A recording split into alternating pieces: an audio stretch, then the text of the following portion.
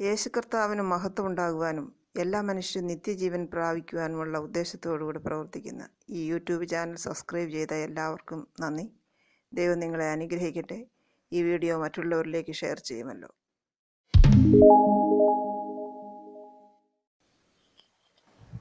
പിതാവിനും പുത്രനും പരിശുദ്ധാത്മാവിനും സ്തുതിയായിരിക്കട്ടെ. Ave Maria. ശുദ്ധീകരണ സ്ഥലം ശൂന്യമാക്കാൻ നമുക്ക് പറ്റുമോ? എന്നാൽ സാധിക്കുമെന്നാണ് നമ്മുടെ കർത്താവ് വിശുദ്ധ ജത്രൂത് വഴി നമുക്ക് നൽകിയിട്ടുള്ള സന്ദേശം. കർത്താവിൽ പ്രിയ സഹോദരങ്ങളെ നാം പലപ്പോഴും ഓർക്കാൻ വിട്ടുപോകുന്ന ഒരു കാര്യമാണ്.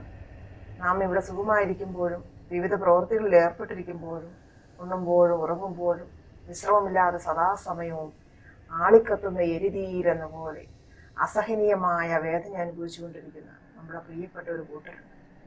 ആരാണെന്നറിയാമോ? നമ്മുടെ സ്വന്തം ശുദ്ധീകരണ സ്ഥലത്തെ ആത്മാക്കൾ. അവർ നമ്മുടെ ഭവനങ്ങളിൽ നിന്നോ കുടുംബങ്ങളിൽ നിന്നോ പരിചയത്തിൽ നിന്നോ മരണപ്പെട്ടവരാകാം. അല്ലായിരിക്കാം. എന്നാലും കർത്താവിന്റെ തിരുസഭയുടെ ഒരു അംഗമെന്ന നിലയിൽ നാം അറിയാത്ത ആത്മാക്കളും നമ്മുടെ സഹോദരങ്ങളാണ്. നമ്മുടെ ശരീരത്തിന്റെ തന്നെ അവയവങ്ങളാണ്.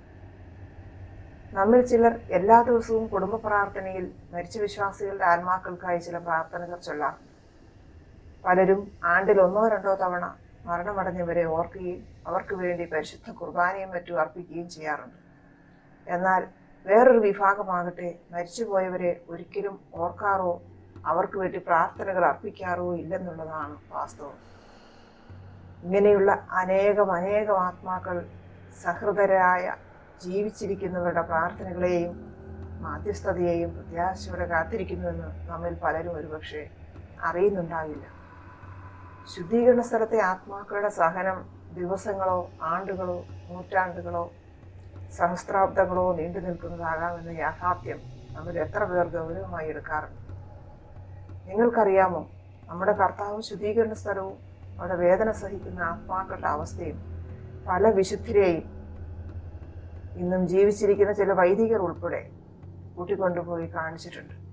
അവരെല്ലാം തന്നെ പറയുന്ന ഒരു കാര്യം ശുദ്ധീകരണ സ്ഥലത്തെ ഏറ്റവും ചെറിയ വേദന പോലും ഈ ലോകത്തിലെ ഏറ്റവും വലിയ വേദനയേക്കാൾ വളരെ വലുതും അസഹനീയവുമാണെന്നാണ്. ഇപ്പോൾ വളരെ സന്തോഷമായിട്ട് ജീവിക്കുന്ന നമ്മൾ മിക്കവാറും എല്ലാവരും തന്നെ ഇന്നല്ലെങ്കിൽ നാളെ അവിടെ പോകാനിടയുണ്ടെന്നുള്ളതും ഒട്ടും അവഗണിക്കാൻ പറ്റാത്ത ഒരു യാഥാർത്ഥ്യവുമാണ്. നമ്മുടെ പ്രാർത്ഥനയുടെ ഫലമായി ശുദ്ധീകരണ സ്ഥലത്തെ ഒരു ആത്മാവ് വിടുതൽ പ്രാപിച്ചാൽ ഓർക്കുക ആത്മാവ് സ്വർഗത്തിലെത്തുന്നത് ഒരു വിശുദ്ധനായിട്ടാണ് അല്ലെങ്കിൽ ഒരു വിശുദ്ധയായിട്ടാണ്. അങ്ങനെ നമ്മുടെ സഹായത്താൽ വേഗത്തിൽ സ്വർഗത്തിലെത്തിയ ഒരു വിശുദ്ധൻ. അപ്പോൾ ആ വിശുദ്ധൻ നാം ചെയ്തതിന് പ്രത്യുത്തരമായി നമുക്ക് എന്തെല്ലാം ചെയ്തു തരും?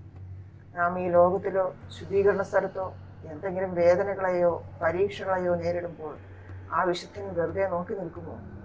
നമ്മുടെ സഹായത്തിന് എത്താതിരിക്കുമോ? എത്ര മനോഹരമായിരിക്കും അത്. ശുദ്ധീകരണ സ്ഥലത്തെ ആത്മാക്കളുടെ പ്രധാന മധ്യസ്ഥയായ വിശുദ്ധ ജർത്തവും വഴിയായി നമ്മുടെ കർത്താവ് അനേകം ശുദ്ധീകരണ ആത്മാക്കളെ വളരെ വേഗം വിടുവിക്കാനായി ഒരു എളുപ്പ പ്രാർത്ഥന നൽകുകയുണ്ടായി. ആ ചെറിയ പ്രാർത്ഥന ഭക്തി വിശ്വാസത്തോടെ ഓരോ പ്രാവശ്യവും പ്രാർത്ഥിക്കുമ്പോൾ ആയിരം ആത്മാക്കൾ സ്വർഗത്തിലേക്ക് എടുക്കപ്പെടും. ആ പ്രാർത്ഥന ഒരു പ്രാവശ്യം പ്രാർത്ഥിക്കാൻ വേണ്ടത് വെറും ഒരു മിനിറ്റ്. അപ്പോൾ നാം അല്പം മനസ്സ് വെച്ചാൽ ഓരോ ദിവസവും നമുക്ക് അനേകായിരം ആത്മാക്കളെ നിഷ്പ്രയാസം ശുദ്ധീകരണ സ്ഥലത്ത് നിന്ന് മോചിപ്പിച്ച് സ്വർഗഭാഗ്യത്തിന് അർഹരാക്കാൻ പറ്റും. ശ്രമിക്കാമോ? ലോകത്ത് അനേകം കൂട്ടായ്മകൾ ശുദ്ധീകരണ സ്ഥലം ശൂന്യമാക്കാനുള്ള ശ്രേഷ്ഠമായ ഈ ഉദ്യമത്തിൽ പങ്കാളികളായിട്ടുണ്ട്. ഓരോ വിശ്വാസിയും മനസ്സ് വെച്ച് സഹകരിച്ചാൽ നമുക്ക് ഓരോ ദിവസവും കോടിക്കണക്കിന് വേദന സഹിക്കുന്ന ആത്മാക്കളെ വിടുവിക്കാനാകും.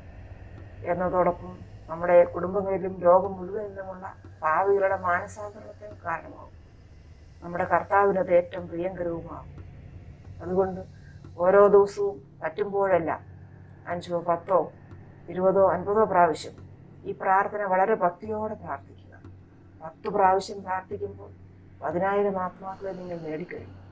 ഇതുപോലെ സന്മനസ്സുള്ള ഒരായിരം പേർ ദിവസം പത്ത് പ്രാവശ്യം വീതം ചെല്ലും ഒരു കോടി ശുദ്ധീകരണ ആത്മാക്കൾ വിടുതൽ പ്രാപിച്ച് സ്വർഗത്തിൽ വിശുദ്ധ വിശുദ്ധഗണത്തോടൊന്നിക്കുന്നു കണ്ടാലും നമ്മുടെ തീരെ ചെറിയ ഒരു പ്രവൃത്തിയുടെ ഫലം എത്ര വലുതാണ്? വിശുദ്ധ ജത്രൂത് വഴി നമ്മുടെ കരുണാമയനായ കർത്താവ് നൽകിയ ആയിരം ആത്മാക്കളെ ഉടനടി വിടുവിക്കാൻ പോകുന്ന ആ വിശിഷ്ടമായ പ്രാർത്ഥന ഇതാണ്. നിത്യപിതാവേ അങ്ങേ ദിവ്യസുതനും ഞങ്ങളുടെ കർത്താവും നാഥനുമായ ഈശോ ചിന്തിയ ഏറ്റവും അമൂല്യവും പരിശുദ്ധവുമായ രക്തത്തിന്റെ അനന്ത യോഗ്യതകളോടും ഞങ്ങളുടെ പാപപരിഹാരത്തിനും രക്ഷയ്ക്കും വേണ്ടി അവിടുന്ന് സഹിച്ച അതികഠിനമായ പീഡകളുടെ അനന്ത യോഗ്യതകളോടും അവിടുത്തെ പീഡാനുഭവങ്ങളുടെയും മരണത്തിന്റെയും ധാനത്തിന്റെയും മഹനീയ ഓർമ്മ ആചരിച്ചുകൊണ്ട് ഇന്നേ ദിവസം ലോകം മുഴുവൻ അർപ്പിക്കപ്പെടുന്ന എല്ലാ ദിവ്യ ബലികളുടെ അനന്ത യോഗ്യതകളോടും കൂടെ അങ്ങയോട് അപേക്ഷിക്കുന്നു. ശുദ്ധീകരണ സ്ഥലത്ത് വേദന അനുഭവിക്കുന്ന എല്ലാ ആത്മാക്കളോടും കരുണ കാണിക്കുന്നു. അതുപോലെ ഞങ്ങളുടെ ഭവനങ്ങളിലും കുടുംബങ്ങളിലും തിരുസഭയിലും ലോകം മുഴുവനിലും പാപത്തിലും ബന്ധനത്തിലും അന്ധതയിലും അജ്ഞതയിലുമായിരിക്കുന്ന എല്ലാവരോടും കരുണയായിരിക്കണമേ. ആമേൻ. ഈ വീഡിയോ നിങ്ങൾക്ക് ഉപകാരപ്രദമായെങ്കിൽ മറ്റുള്ളവരിലേക്ക് ഷെയർ ചെയ്യുവാൻ മറക്കുകയില്ലല്ലോ